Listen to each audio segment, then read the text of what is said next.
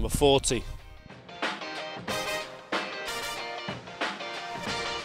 Uh, roast dinner. That is my favourite dinner. I absolutely love roast dinners. Number 11. Uh, the worst tasting music has to be Julian Speroni. Number 41. Wayne Rooney. Just a fantastic player. Um, I don't think we've seen the best out of him yet. I think he's got more to come, which is quite frightening to think about that. But yeah, he's been superb and he's a special player. 23.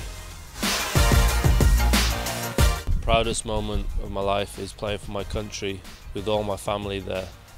That would be the proudest. Number 12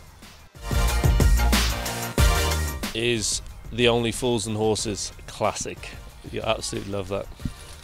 39 striker all day long. Big target man, hold it up. Yeah, bit like Muzzer, but faster.